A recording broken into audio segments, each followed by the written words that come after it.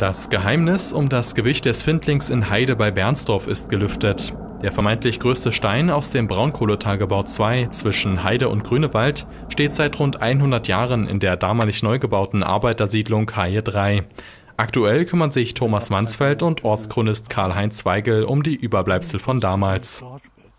Im vergangenen Jahr wurde der Bereich um den Stein neu bepflanzt. Dabei kam die Frage auf, wie viel wiegt er eigentlich? Mit einem 3D-Laserscan des Unternehmens GmbH aus Spremberg wurde jetzt das Gewicht des Granitsteins auf ca. 11 Tonnen geschätzt